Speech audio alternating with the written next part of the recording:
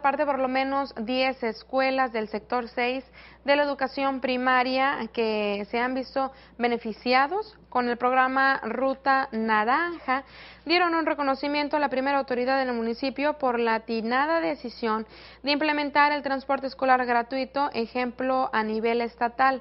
Fue la profesora y licenciada María Isabel Loredo, jefa del sector 6 de la educación primaria, la encargada de dar este agradecimiento al presidente municipal Alfonso Sánchez Garza, quien acompañado del director de educación Marcos Cantú Puga y el jefe de servicios regionales de la educación Francisco Sánchez, agradeció la distinción. La ruta naranja Operan Matamoros desde hace dos años y ha permitido facilitar no solo el acceso a la educación a los niños que viven en zonas de la periferia, sino además que ha logrado que la infraestructura educativa de las escuelas del centro de la ciudad sea aprovechada. El transporte logró aminorar la falta de docentes y de espacios escolares, pero además ayudó a aquellas familias que necesitaban mandar a sus hijos a la escuela y no tenían los recursos económicos para buscar una educación de calidad, así es como lo dijo la profesora. El alcalde, por su parte, también agradeció la oportunidad de trabajar en equipo con los maestros, con los padres de familia, en beneficio de los niños, de su formación,